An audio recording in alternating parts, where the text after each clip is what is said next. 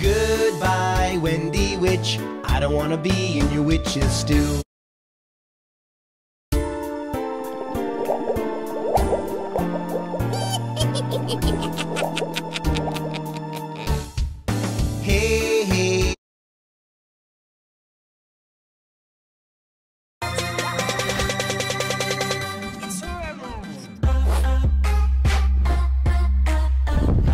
Yo, eto, syempre kakaiba to.